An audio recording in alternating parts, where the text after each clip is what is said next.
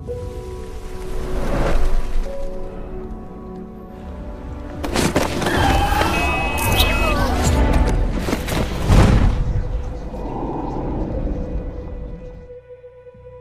Cassius.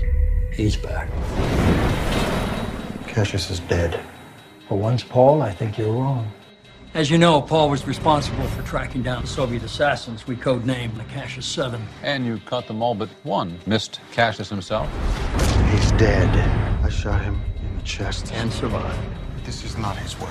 Oh, I think it is. This is Agent Ben Geary. Probably knows more about your assassin than anyone we've got. We'd like the two of you to work together. You never caught him. Because he's dead. Then prove it. Read that uh, you worked with Cassius. Did he train you? He Trained us all. He's used every single weapon you can think of. That red line right there indicates where his killing became erratic and inexplicable. I want to know him. I want to understand him. You need to drop this investigation. You got a wife, you have two kids. Cassius doesn't care who he has to eliminate.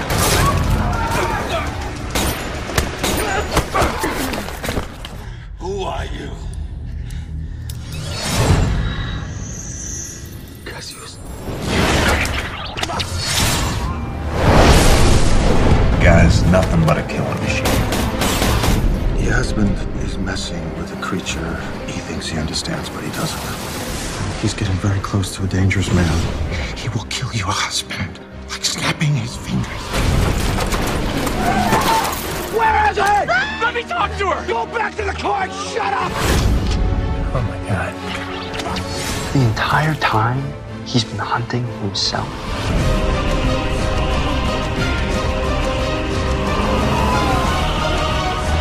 Looking for Cassius a long time, haven't you? And now I found him.